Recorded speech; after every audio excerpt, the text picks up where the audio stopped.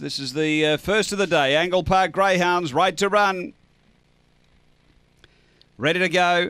On their way. Uh, pace here, Mercy Road's going to zip through and find the lead, the favourite. Cheech Marlowe uh, just dropped back a bit. Amy's Empire improved quickly. Then came Looney Annie. Behind those, Justice Mary and Zabo Hustler up front. Mercy Road led. A length and a half, Amy's Empire, and three away, Looney Annie. On the turn, Mercy Road the leader. Amy's Empire running on. Mercy Road hanging on. Mercy Road beats Amy's Empire. Third home is Looney Annie. Behind those runners next, we had uh, Zabo Hustler, then Cheech Marlowe, and Justice Mary was back toward the tail end. The time here, 22 and 58.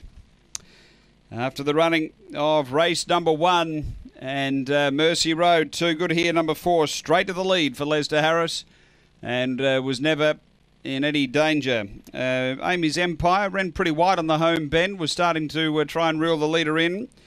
Uh, held its ground to the line, and number two, Looney Annie, back in third spot. For the winner, Mercy Road, Lester Harris, G. Hutchinson, Siva Stoley, a Black Bitch, April 2016, Oaks Road, Power Merc,